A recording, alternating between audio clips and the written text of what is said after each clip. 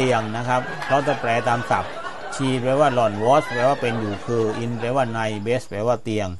หล่อนอยู่ในเตียงไม่ได้เข้าไปมุดใต้เตียงอะไรทั้งสิ้นนะครับแปลว่าหล่อนเข้านอนนะลุงนะ ส่วนที่เป็น workbook นะครับ แล้วก็ส่วนที่เป็น student book ซึ่งได้สอนจบไปแล้ว 104 หน้า ในส่วนที่เป็นนะครับเฉลยแบบฝึกหัด workbook หน้านี้ก็เป็นหน้าที่ 100 และเป็นหน้าสุดท้ายนะครับ เพราะฉะนั้นกับผมครูพินันก็ต้องขอขอบใจลูกๆทุกคนที่ติดตามคุณครูมาตั้งแต่หน้าที่ 1 จนถึงหน้าที่ 100 นะครับนะ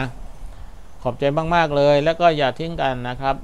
นะให้ติดตามคลิปคุณครูพี่นันไปเรื่อยๆนะครับ เดี๋ยวปีหน้านักเรียนขึ้นป .6 ก็คุณครูได้ทำ Say Hello 6ไว้แล้วด้วยนะครับ มาดูกันได้เลย ซึ่งตอนนี้คนที่เรียนป .6 อยู่แล้วก็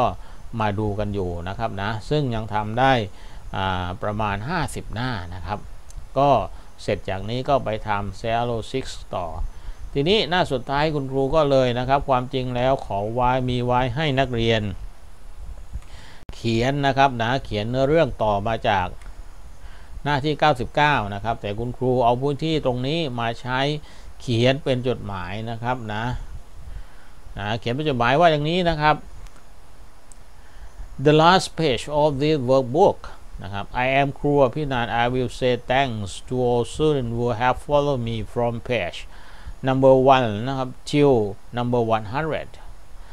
I want students to study hard English is not a difficult subject than other subjects we must pay attention feel more love for it I think one day you will be good at in English นะครับ แปลเป็นไทยนั่นก็คือว่านะครับ ถึงจะตัวเล็กนิดหนึ่งก็คงไม่เป็นไรนะลูกนะ The last page หน้านี้เป็นหน้าสุดท้าย of this workbook นะของการทำเฉลยแบบฝึกหัดของเล่มนี้นะครับ I am ครูอภินันนะครับกระผมครูอภินัน I will say thanks กระผมอยากจะพูดว่าขอบคุณนะครับ ต่อท่านผู้ชมแล้วก็นักเรียนทุกทุกคนนะครับ ขอบคุณ to all student นะครับต่อนักเรียนทุกคนนะครับ who have follow ผู้ซึ่งได้ติดตามนะครับนะ have follow ได้ติดตาม me ติดตามผมนะครับ ติดตามคุณครูมา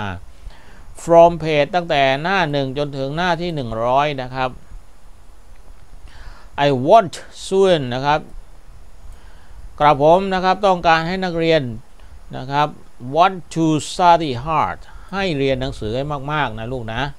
นั่นในที่นี้ก็หมายความว่าให้ดูคลิปของคุณครูให้จบเลยนะครับ ตั้งแต่หน้าที่ 1 จนถึงหน้าที่ 100 English is not a difficult subject than other subject นั่นก็หมายความว่าวิชาภาษาอังกฤษนั้นไม่ได้ยากไปกว่าวิชาอื่นๆนะครับลูกนะที่ลูกเรียนอยู่เนี่ยไม่ได้เป็นวิชาที่ยากที่สุดนะครับ เพราะฉะนั้นถ้าเกิดนักเรียนต้องการจะเก่งนะครับให้นักเรียนนะครับ we must พวกเราต้อง pay attention นะครับ pay attention แปลว่าให้ความสนใจให้ความใส่ใจนะครับ แล้วก็ feel more love for it เติมความรักลงไปให้มากนะครับ นั่นก็หมายความว่าหันมาให้ความรักกับมันนะครับนะ I think นะครับ คุณครูคิดว่า one day นะครับ สักวันหนึ่งนะครับ you will be good at in English นักเรียนก็จะเก่งในวิชาภาษาอังกฤษ นี่คือเป็น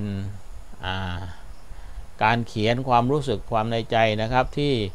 มีความปรารถนาหรือมีความประสงค์ให้นักเรียนนะครับ มีความขยันนะครับ อ่านหนังสือเรียนหนังสือหรือดูคลิปนะครับ ต่างๆไม่จำเป็นเฉพาะคลิปของครูพี่นันอย่างเดียวนะครับ คลิปของยูทูบเบอร์ท่านหนึ่งท่านใดก็แล้วแต่นะครับที่ใน YouTube นะครับมีประโยชน์ทั้งนั้นเลยนะครับนะ แต่ก็ขอขอบใจเป็นพิเศษต้องรับนักเรียนที่ ติดตามครัวพี่นันมาตั้งแต่หน้าที่ 1 จนถึงหน้าที่ 100 ซึ่งเป็นหน้าสุดท้าย แล้วก็เจอกันในคลิปต่อต่อไปนะครับ ขอให้ได้รับความขอบคุณจากผม ครูอภินันหรือเจ้าของยูทูบเบอร์ช่องครูนัน Channel นะครับ ก็ขอสวัสดีแค่นี้นะครับผม สวัสดีครับ bye bye bye bye เจอกันใหม่นะครับ อย่าทิ้งกันนะครับ บ๊ายบาย นานๆจะเห็นคุณครูยิ้มสักทีนะ หรือจะตบท้ายด้วยเพลงสักเพลงดีไหมเพราะคุณครูชอบเพลงนะ เอาเพลงอะไรดี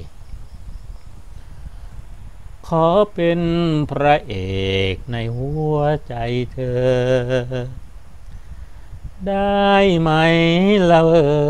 อหากเธอหัวใจยังว่าง alright alright